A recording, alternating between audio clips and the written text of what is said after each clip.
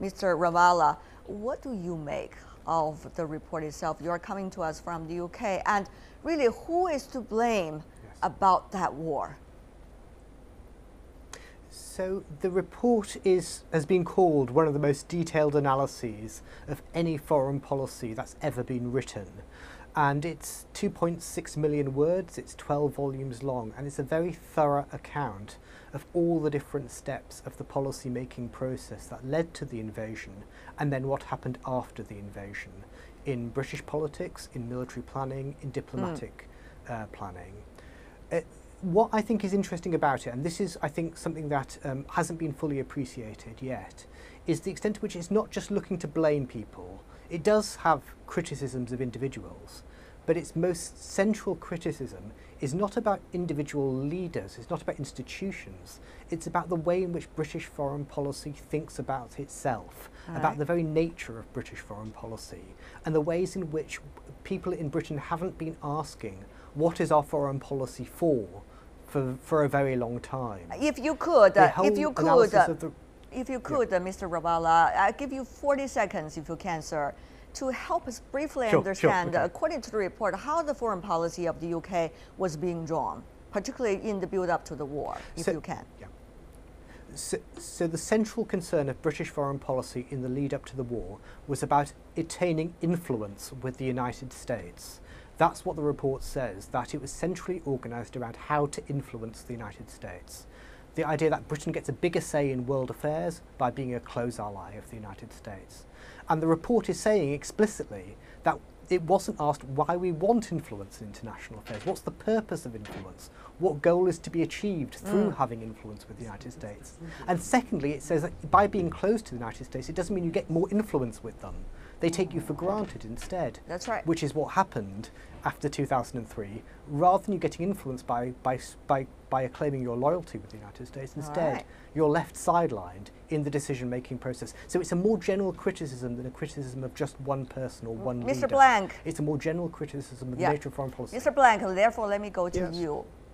What exactly is it? Of course, the debate inside the UK, as being illustrated by Mr. Rangwala, is influence the means or is influence the goal?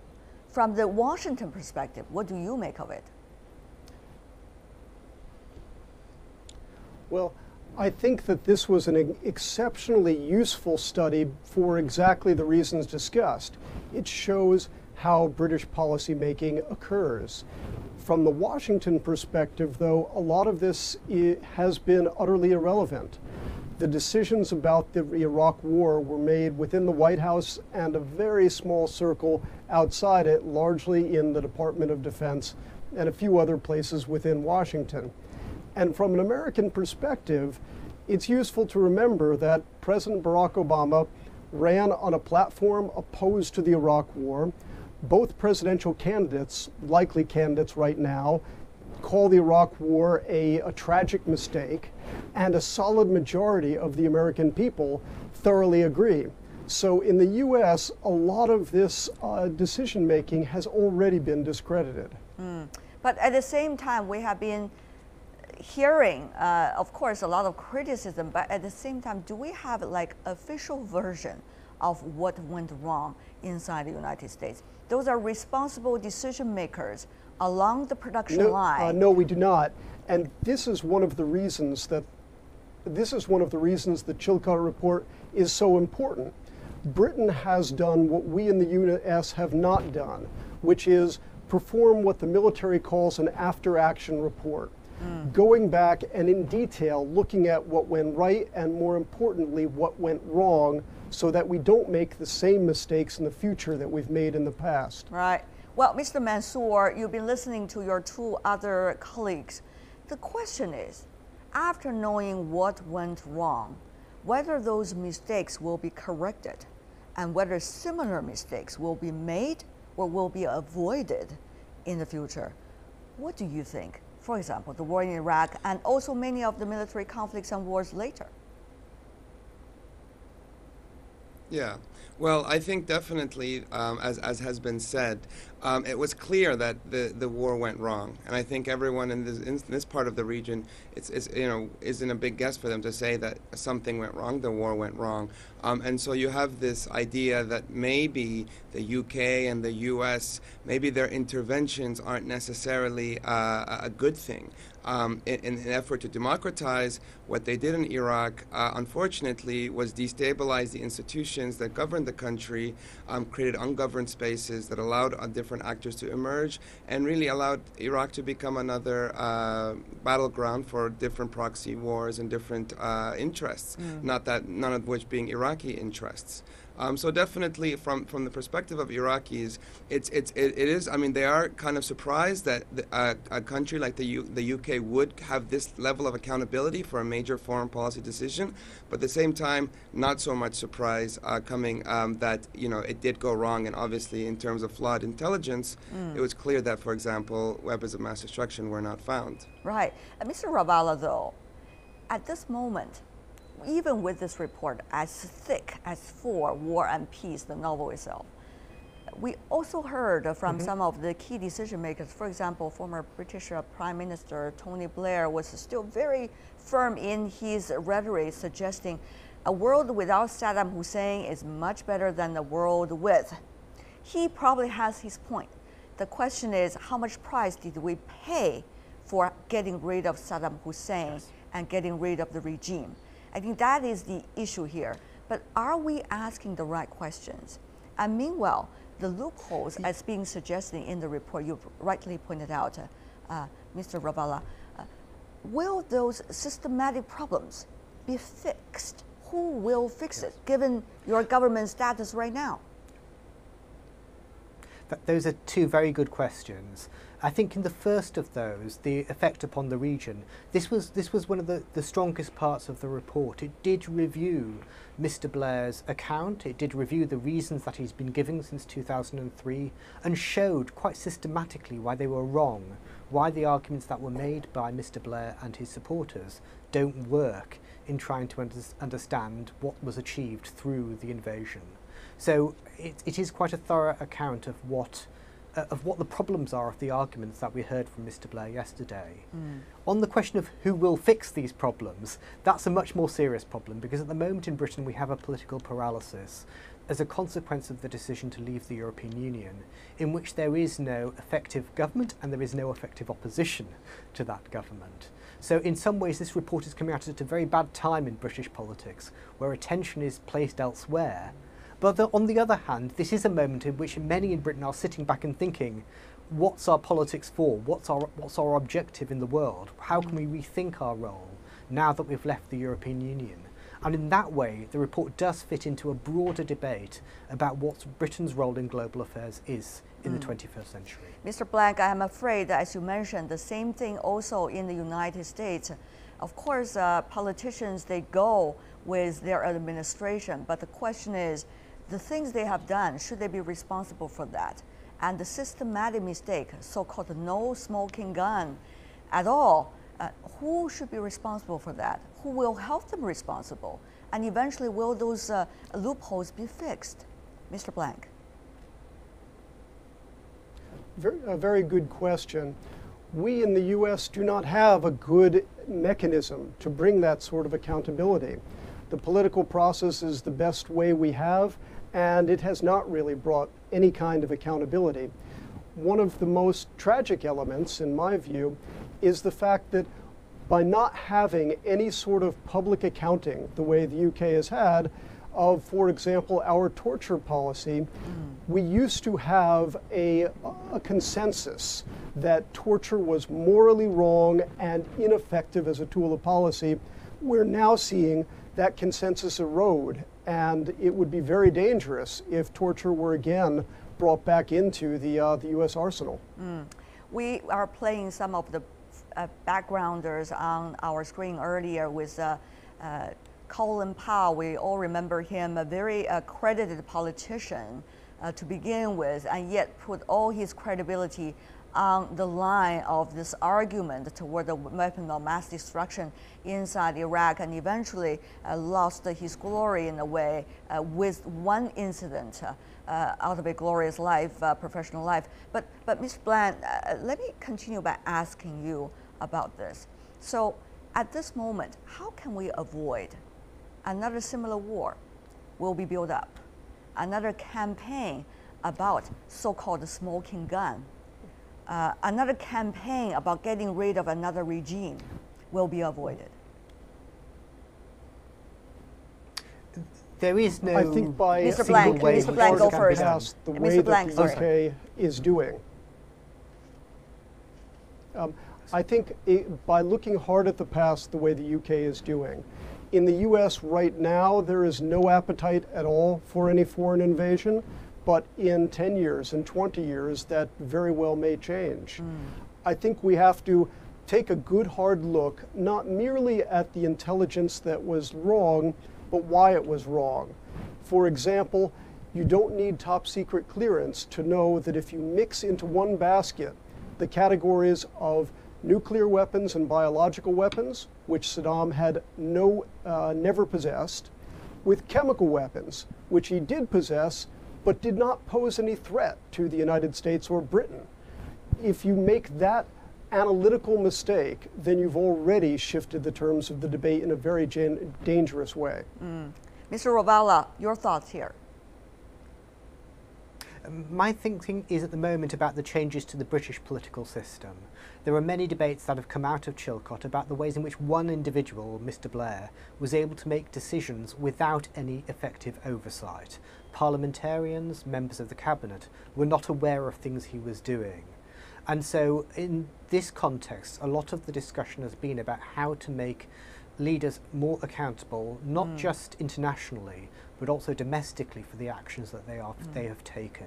And that, I think, has been a major lesson that's come out of the Chilcot process. Talking about uh, the accountability of leaders, uh, of course, uh, we've been hearing that quote many times, but let's hear it again. According to the report, Tony Blair, then Prime Minister of the UK, wrote to George W. Bush, uh, then President of the United States, on July the 28th, 2002. He was suggesting this quote, I will be with you whatever. It sounds pretty much yes. like a promise between friends. But then uh, he, of course, warned yeah. uh, George W. Bush of the potential difficulties of the Iraq War, but eventually he still stood with uh, President Bush uh, on this uh, decision. Uh, Mr. Blank, the question is what does it mean, personal relations or personal chemistry among state leaders vis a vis the most important decisions they need to make for their own countries and even the world. Yes, personal relations are very important.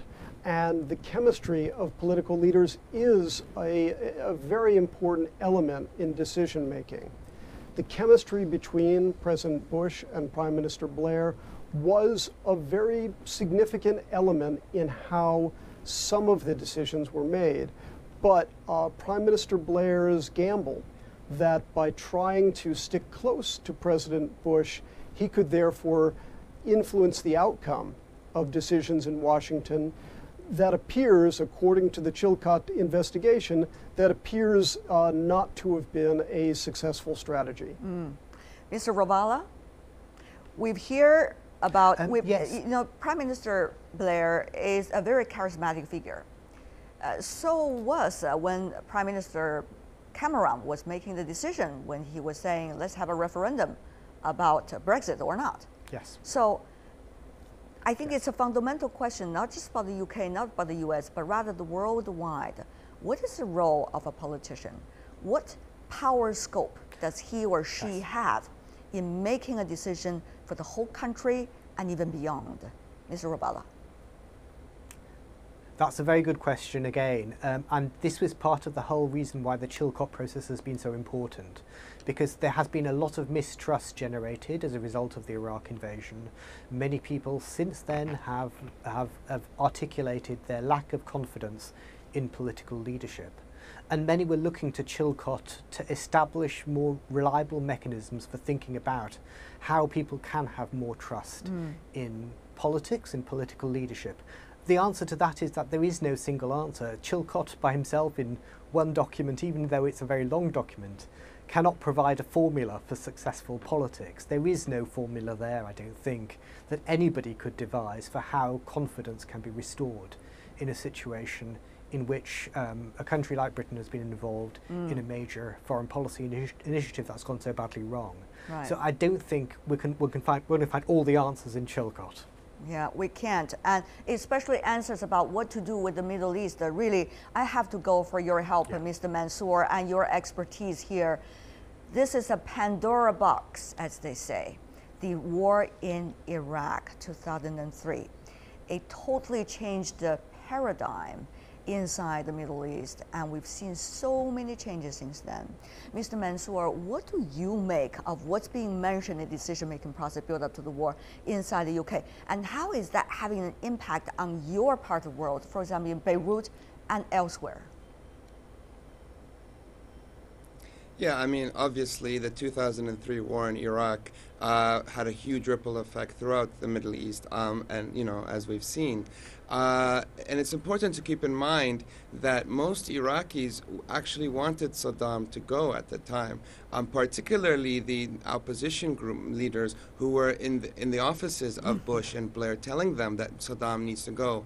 Now, the thinking was Saddam was in himself uh, a problem for Iraq and for the region to some extent. And so they wanted him to go. Um, so I think, and a lot of Iraqis today I know are kind of troubled with this question was it better before or after hmm. Saddam? And there is a certain element of nostalgia as well to, to Saddam. But I think that's a bit short sighted. And I think that people shouldn't forget that Saddam himself was a dictator. Mm. And as we say, Iraq did not become a graveyard after 2003. It was a graveyard before 2003. I mean, he gassed the Kurds, he, he uh, hit the Shia quite, quite severely at hmm. times. Mm. So, definitely from that aspect, it wasn't, you know, a rosy picture before 2003. Right. Yet, what happened after 2000? What happened after 2003? The U.S., the U.K., and the coalition decided to fundamentally remove the structure of government in Iraq, completely move the institutions of state, the army, the many of the civil servants, and so the country quickly fell apart, as, as I said. And as it fell apart, many actors were able to move in and, and emerge. And many of the problems we have today, you can someone trace them back to that decision. The you know the Islamic State doesn't come out of nowhere. For mm. example, the Islamic State comes from Al Qaeda in Iraq, which was Zarqawi, who was there before, who launched a, a war against the occupiers at that time. So many of the problems we're having today are because of that. The system of governance that was set up, the 2005 constitution that was created in Iraq, me- created many of the problems we have today. Mm-hmm. So I think one of the more important points of the Chilcot report is how poorly planned post you know, post intervention, how poorly uh, the occupation was planned, that led to many of the problems we have right. today. Uh, Mr. Mansour, I have to follow up by asking you two important questions. Let's go one by one. First of all, should leaders around the world make the decision based on ideologies? And how dangerous it could be if they do.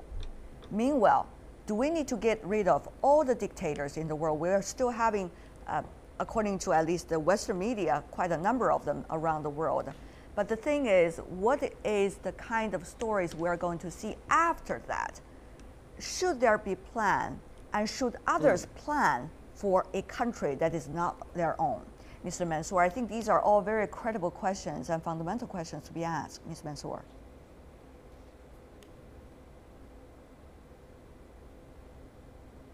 Mr. Mansour?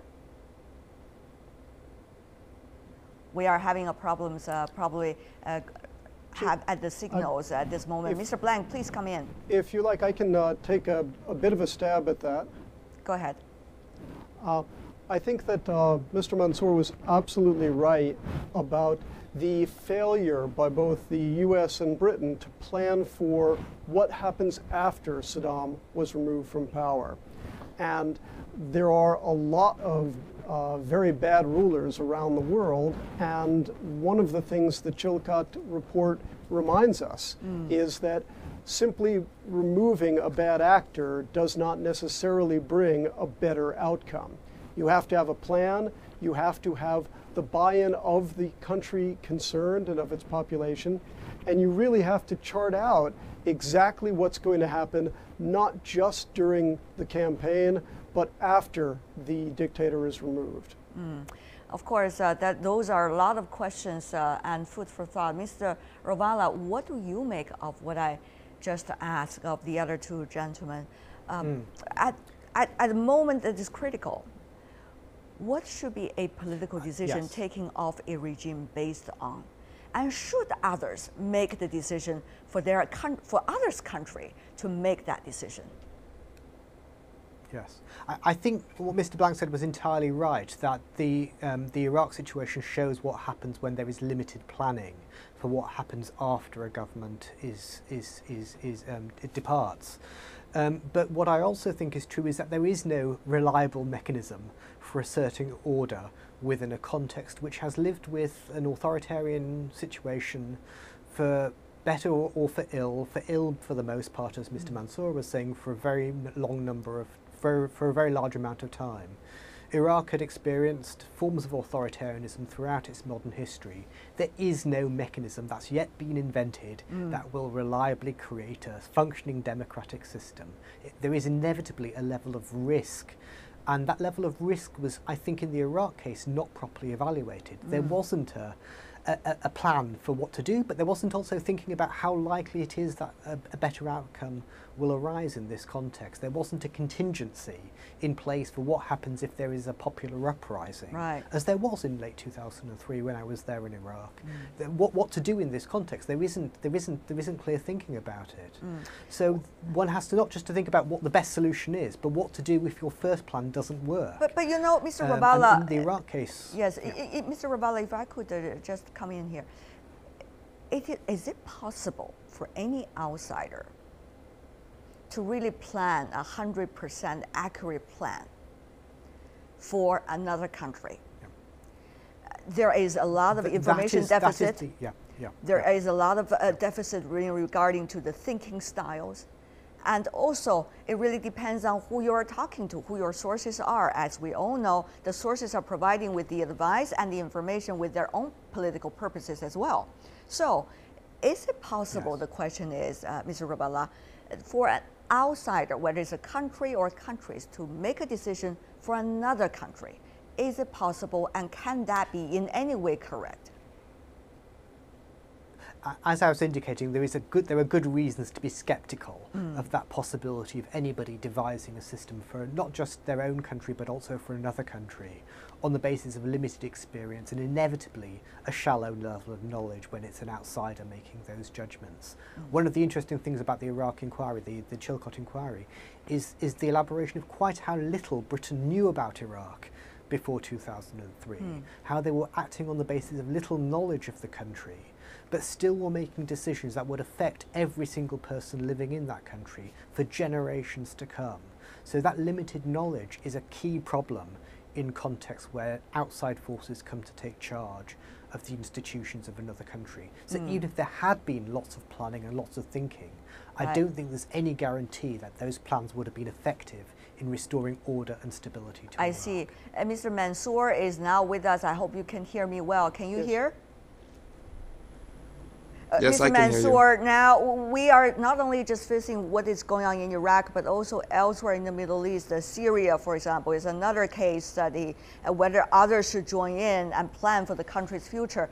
And that is going to be an important step for the next step of your region in the Middle East. So, what do you make of this? Outsiders come in, or actually we should let people inside the country to decide their own future? Mr. Mansour. It's, it's a very difficult question. I mean, many would say that outsiders are already in Syria to some extent, particularly regional outsiders, if you will. Um, it's hard to see. I mean, Syria originally was a very local problem. I've spoken to many Syrians uh, now in Lebanon or in Iraq, and it was a reform. They, they wanted reforms. Mm. However, it was to some extent hijacked by some stronger groups viewed as foreign funded groups uh, that were able to emerge. Um, and so it kind of went from that a local problem to a much a regional problem. And all regional players are now have their, their, their hands in Syria. And again, this is a huge question. You know, and, and I think the Chilcot report is important for how we conceive and how we you know, of, of uh, intervention. Um, do we do we do we let Syria continue as it is? Um, and, and you know, it's, now we have more than 500,000 who have died since since the conflict began. Right. Is there any responsibility to protect? I mean, these are all questions that uh, you know international lawyers, but also hum, you know human rights activists and other types of academ- and academics are trying to answer. What needs to be done? And I don't think that there's an answer to it. Okay. It's hard to really see an answer from the ground of what should be done. Well, I'm sure our discussion will continue because all of these important questions do not have sufficient answers. But for now, I want to thank all of you, the three of you, so much for your insights and your perspectives. Uh, Glen Rangwala, Renad Mansour, and also Jonah Blank. Really appreciate, you. gentlemen, for being with us.